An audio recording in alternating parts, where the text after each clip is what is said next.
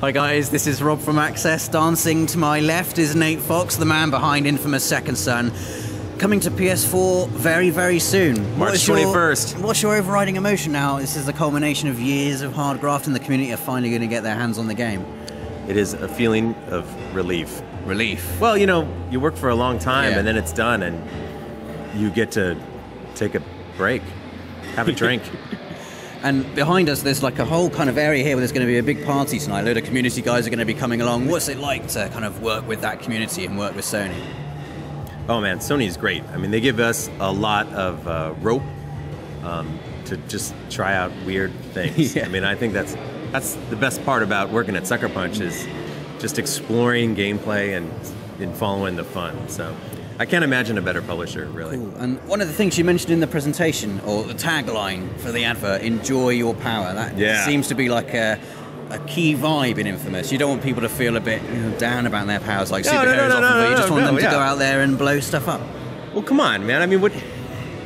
It's a game about powers. Like Yeah. that. That's what people are going to play it for. Is Sure. to be in that open world and uh, jumping across buildings. Just revel in it. Revel in the powers. And I was playing the demo quite extensively, actually. And one of the things I instantly felt was, you know, very empowered and how I could, especially when you get the neon powers, you can just jump over buildings. Yeah. And you were mentioning as well that you've got different powers. I know you can't reveal some of the other ones, but you've got neon for traversing really quickly. Uh, smoke is good for combat.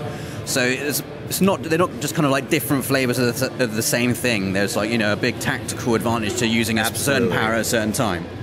Yeah, they, they kind of take on different gameplay roles. Mm. So, like you said, smoke's good for close in combat, and if you're kind of a, a chicken like myself, you will hang back with neon and snipe people. And the other powers you get along the way uh, have fill in different kind of play styles. Sure. On top of that, if you play as a as a hero, um, we kind of reward you for being really uh, thoughtful and not hurting anybody. And if you're evil, uh, we, we really force you to be a bigger, badder monster. And those play styles are also very different. Um, you know, you really haven't played the game until you've gone through twice. Sure. And that choice is like a, a key thing in Infamous. You were saying in the presentation how overwhelmingly at the end of Infamous 2, lots of people opted to sacrifice Cole. Yeah. What was that? What was your reaction to that? And you said it also shaped how the future of the series has you know, gone on from there. Like if people had chosen to keep Cole, would we be seeing Cole now instead of Delsin Rowe? I mean, Yes. So I wrote the evil ending of Infamous 2, hoping you that wrote- would be the end of the Yeah, game. that was the ending you wanted to have, the evil. Yeah, man, he was alive. I like Cole. I like his powers. Um, but players chose to, to, to let him die, and um, because it's a franchise about choice and consequence, we said the players have voted. Let's just make this happen. And in the end, I'm I'm happy about it because uh, we got an all new hero, Delsin, Sure. new origin story, new powers, new city. It's a really good time for people who have never played Infamous Sure. to get in. They will, they'll be fine. They'll pick up the story. Cole's dead. If you did play the previous two games, there'll be a lot of stuff that you'll pick up on that other people won't. But really, it's a great entry into the, into Infamous. Of course, it looks amazing as well on PS4. You mentioned all the kind of things you're able to do with the, the city and the DualShock 4. The DualShock 4 in particular, there's quite a lot of cool things you can do. Like I was, you know, doing a security scans, like putting your finger on it. It really kind of Yeah. makes you feel Yeah. like you're, you know, taking part in the game a lot more than just pressing a button on a controller. Yeah, yeah, what, what other cool stuff have you been able to do with the controller? Um, well, all right. So this is the obvious. For as a gamer, the most important thing is that those thumbsticks and triggers are so much better, right? So aiming and blasting feels better.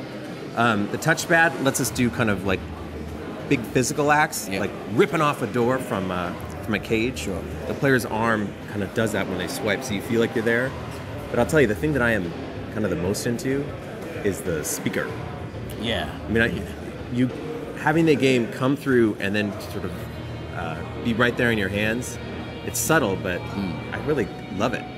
You guys have got Seattle as your open world setting, and you're obviously guys you live there, you know the city well. Yeah. What do you think makes Seattle a really good open world playground in which to just blow stuff up with superpowers? Well, Seattle is good for a couple reasons. Um, for me, I think it's really uh, moody. Yeah. I mean, the rain sweeps in over the sound and just makes everything shiny wet, and there's reflective puddles everywhere. So it looks gorgeous and it looks somber. Yeah. Um, On top of that, the architecture is really varied, so you get a lot of places to hide things and, and places to explore with just different kind of surfaces to scramble up. In Infamous, it's an open world game where anything you see you can get on top of. I mean, Delsin's powers are great for, for moving around, and also just his rock climbing abilities are still there. Uh, I think people are going to love just kind of finding their way through Yeah, Seattle. right. What does this mean? Am I pushing grass aside? I just did that naturally. Do you do that when you explore? What's In your hand motion for like explore?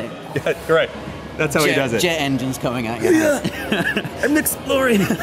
Well, thank you so much for talking to us. Nick. Yeah, thank you for your time. Infamous is looking absolutely amazing. It's coming out on PS4 on March the 21st. If you want to see that and loads of other videos on everything PlayStation, don't forget to subscribe.